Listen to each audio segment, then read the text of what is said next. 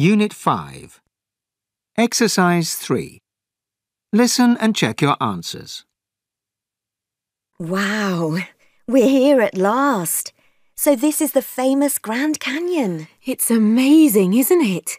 And this is a fantastic place to see it from. Can you see that river down at the bottom? Yes, I can. That's the Colorado River. It's wider than the River Thames. But that's impossible. It looks tiny.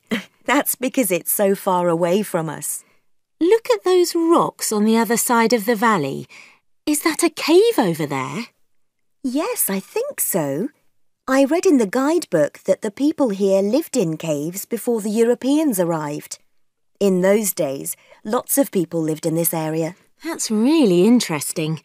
Can we visit the caves? I don't think it's allowed these days.